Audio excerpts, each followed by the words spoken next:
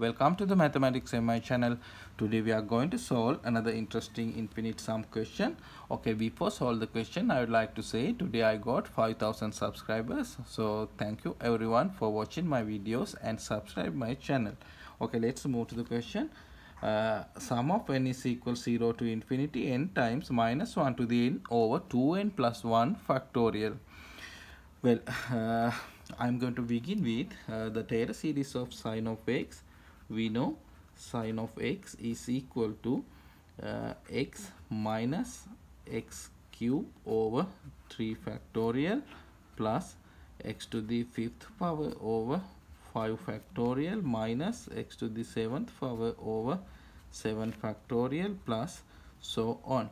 Okay also we can represent this series uh, by using sigma notation. So we can write uh, sine of x is equal to n is equal 0 to infinity uh, minus 1 to the n power times x to the 2n plus 1 power over 2n plus 1 factorial. Okay then um, here we can write sum of 0 to infinity minus 1 to the n uh, times here x to the 2n plus 1 so I am going to write x to the 2n times x. And here we have 2n plus 1 factorial. Okay then um, here we have n but here we have 2 times n. So now uh, I am going to take when x is equal to square root of x. When x is equal to square root of x we can write uh, sine of square root of x is equal to here infinite sum 0 to infinity minus 1 to the n times.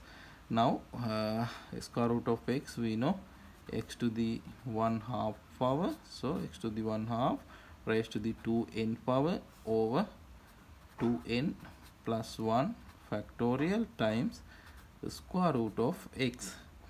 Now we can write uh, sine of square root of x is equal to here square root of x. So square root of x times uh, sum of 0 to infinity minus 1 to the n times now we know these two get cancelled so we have x to the n over 2n plus 1 factorial.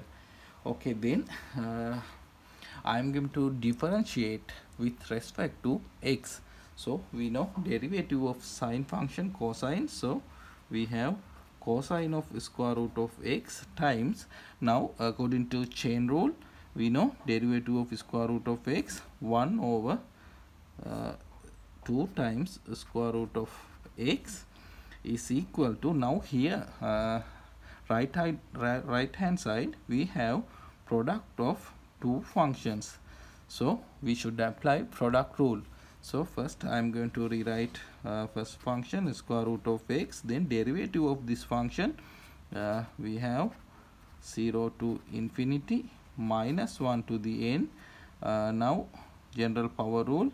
So n times x to the n minus 1 over 2n plus 1 factorial plus now derivative of square root of x we know 1 over 2 times square root of x times now rewrite second function.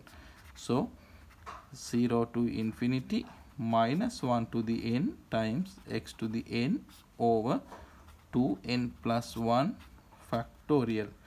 Okay then uh, I am going to plug in um, 1 for x. So we can write now here cosine of 1 cosine of 1 over here 2 is equal to here 1 so uh, sum of 0 to infinity minus 1 to the n over uh, 2n plus 1 factorial. Here also we have n if we plug in 1 1 to the n minus 1 1 uh, plus here 1 over uh, again 2 infinite sum 0 to infinity minus 1 to the n here x1 so here 2n plus 1 factorial. Okay then um, here we have the Taylor series of sine of x. So if we plug in 1 here sine of 1 is equal to infinite sum minus 1 to the n over 2n plus 1 factorial.